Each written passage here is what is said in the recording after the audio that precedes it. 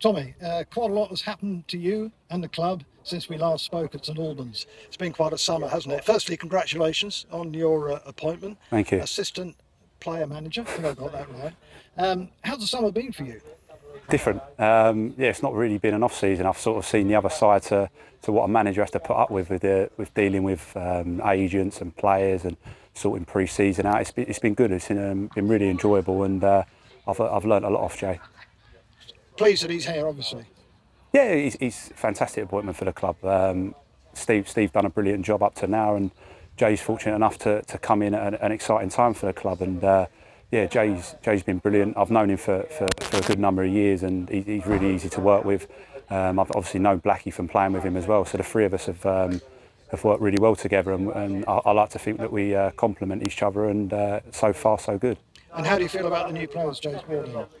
Yeah, good, exciting. All, we're young. We're we, we, we look we look sharp. We, we look good going forward. Um, there's a lot a lot lot of work to do, but yeah, the, the, the signs so far in pre-season have been good. There's been, been um, good morale with, with the players, and uh, yeah, long long may it continue. And for you personally, how's pre-season going?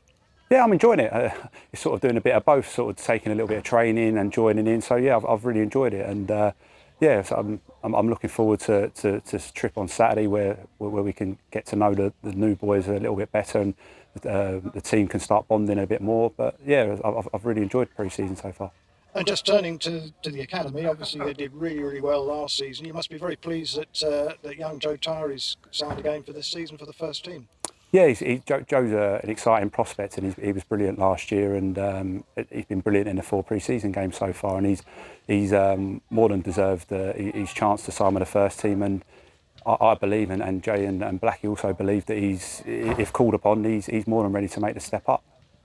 And uh, we're approaching the season; it's going to come up very, very quickly, 6th of August. What do you reckon on the first home game? How does that, uh, or the first opposition, I should say, Weymouth?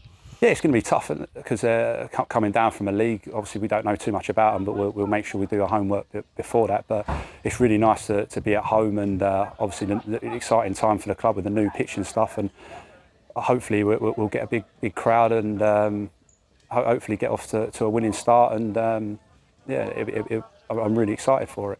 Thanks very much for your time, Tommy. Thanks a lot. Thanks, Jim.